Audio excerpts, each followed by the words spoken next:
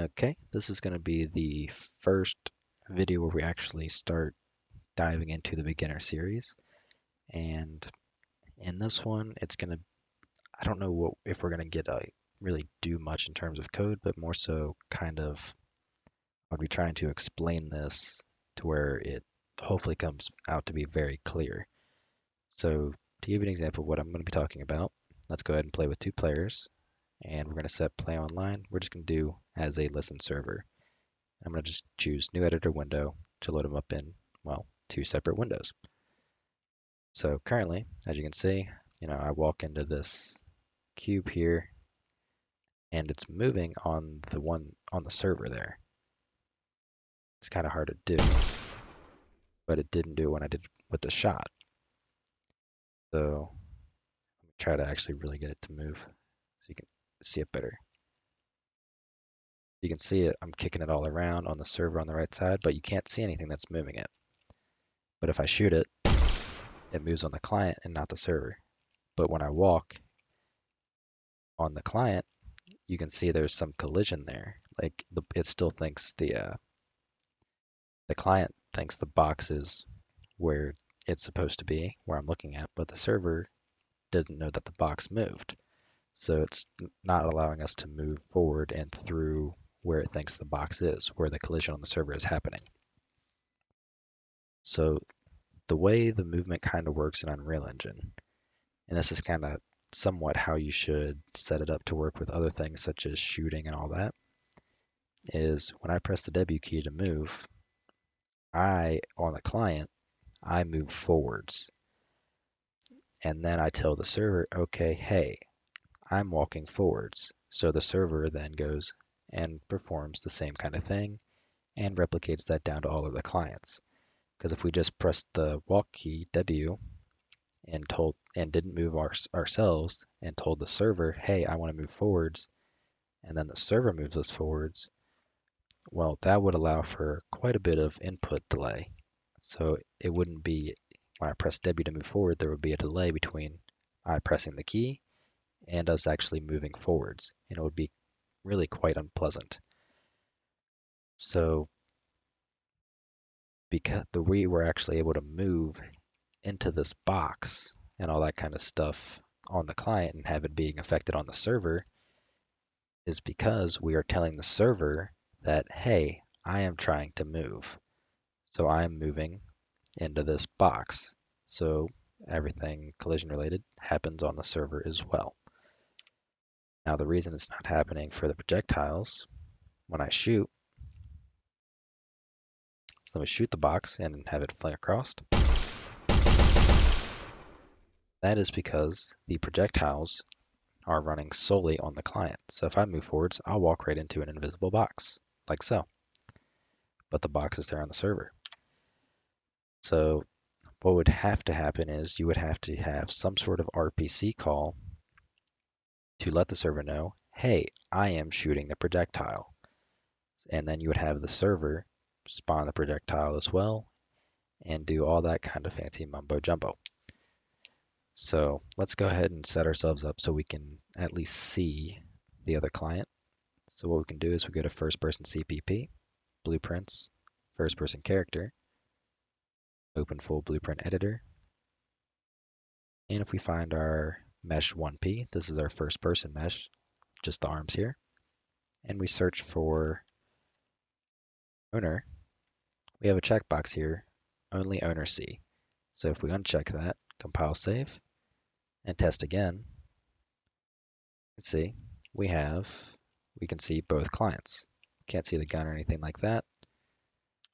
So let's go to our FP gun, uncheck only owner see, compile save, I need to get rid of these components, so we'll do that here soon too. And now we should see the gun. Like so. We can see that, we can see the animation and all that playing just as normal. However, when I shoot, nothing is happening on, e on the opposite client slash server, only for ourselves. So if we come over here and look at our code, our beginner multiplayer character dot CPP, and I'm going to open up our header file as well because I want to clean some junk out here in a minute. When we go to shoot, we left click, it calls on fire. And our on fire function, again, this is running strictly on the client. It's going through and it's trying to, one, it just checks if the projectile class is null, well, not null. Then it goes through, get the world, and then we will find, well, we will get the location of our actual muzzle, so the end of our barrel. Same thing with the rotation. And we will spawn the projectile. Now the projectile already has stuff built into it, such as uh, impulse and all that. So if we go over here to view the projectile, projectile movement, initial speed is at 3,000 units per second. So like, I think that's what it goes off of. So like 3,000 centimeters a second or something like that. So it's already set up and it's, you know, it's having its impulse. Now, when the server does this and spawn actor occurs on the server, that as long as the actor is set to be replicated, it should be there for the rest other clients as well. So if we come over here and click open up our first person projectile, blueprint class, and if we just scroll down to replication, we can see replicates is unchecked. It's false. So if we set this to true, compile save, I load up and play again. Here I will shoot on the client, and nothing happens. But if I come over here and shoot on the server, as you can see on the client at the uh, left side of the screen, the client sees the projectile that the server is shooting. That's due to how everything kind of trickles down with replication. So as always, you want the server to be authoritative.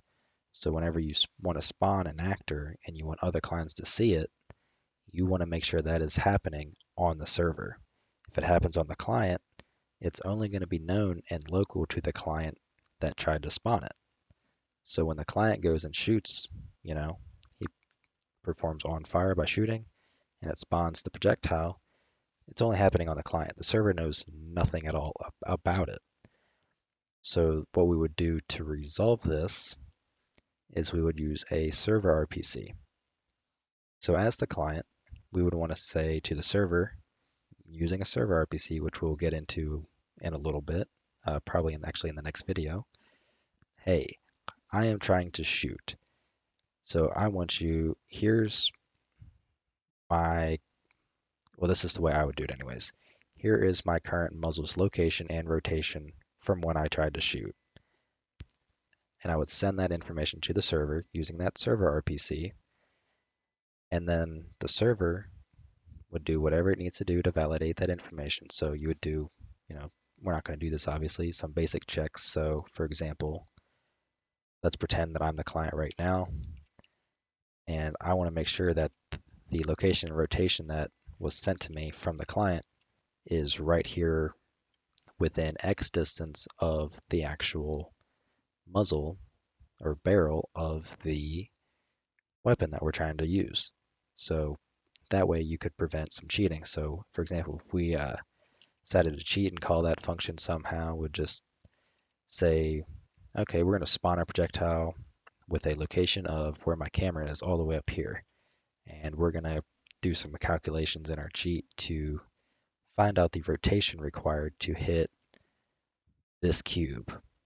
We could send that information to the server and it would fire a projectile from up here and hit this cube. So we could do that even if our player was all the way behind this and couldn't see the cube. So that's what you would prevent there by doing those checks. Obviously, we're not going to be doing those now this video, this is a very basic tutorial little series thing. So that's why we would get around that. So if everything succeeds, so the information that the client passed in in regards to the barrel's location and rotation is within our tolerances, meaning it's good to go. Inside that server RPC, we would use spawn actor. We would go ahead and spawn the projectile using the passed in location and the passed in rotation. And that will allow the server to actually spawn the projectile. So hopefully that was a uh, good explanation. And I'm going to be breaking these videos up into parts and trying to release them together. So first comes the explanation. And in the next video, we come out with the implementation of it. So if you like this format, please let me know because I'm just trying it out right now. So I'm going to go ahead and end the video here. Uh, actually, let's go ahead and remove some of the bloat code that we don't need just to simplify this class. So let's go to our character.h. We're going to find our anything related to VR, we're just going to get rid of. So our VR gun to VR muzzle location, gone. Our motion controllers, gone. Our check before using a motion controller, gone. On reset VR, gone. Everything relating to the touch data structure, gone. And enable touchscreen movement is also gone. Now we have to do the same thing in our .cpp, so starting from the top, in our constructor here, Starting on line 63, we remove our motion controller related stuff. Everything related to our VR gun and VR muzzle location, we get rid of. Inside of begin play, we have a check if we're using motion controllers and all that kind of stuff. We can actually get rid of this entire if else. It is not needed. We scroll down to our setup player input component. We have our enable touchscreen movement our reset VR. That's it for those two. Then our on fire function, we have if be using motion controllers. We do this, otherwise we do this. We want to get rid of the if statement. So remove the if else and the closing bracket and go ahead and cannot remember what the hotkey was to reformat it, but just make it look nice and clean. Keep scrolling down. We have our functions that we remove. So remove on reset VR, begin touch, and end touch, as well as this giant commented out function, like so. Scroll down further, and we have our enable touchscreen movement. We've removed that as well. And that should be everything related to VR. So now we just have a very simple character class. So I'm going to go ahead and let this compile. And I'm just going to remove some comments and minimize some stuff that I don't really think needs to be seen. Oh, we can also remove some of the includes. So we're not using our motion controllers. remove that include. We're not using our head-mounted display. We remove that include, and that's it. So anyways, that's all that's going to be done in this video. And in the next one, we will actually go about implementing everything that I talked about regarding our projectile in the, well, we're going to do, yeah, literally everything I talked about. So we're going to try to get our projectile when the client shoots, we're going to get it to spawn on the server so that other clients can see it. So that's pretty much it, as well as some other stuff. So for example, if I set this to three clients, play. I want to just do a quick little C here. So just, yeah. Okay, never mind, that was just for myself. Anyways, we will uh, continue in the next video by actually implementing it. So as always, if you like what I'm doing and you want to help support me, there is a link to my Patreon in the description below, as well as if you have any questions or anything like that, there will be a link to my Discord server down there too, with a dedicated channel to this series. So feel free to ask any questions or ask for assistance on anything related to this kind of stuff that you need help with. And I or someone else will try to really help you out and get you understanding whatever it is you're struggling with. And as always, I will see you in the next video. Take care.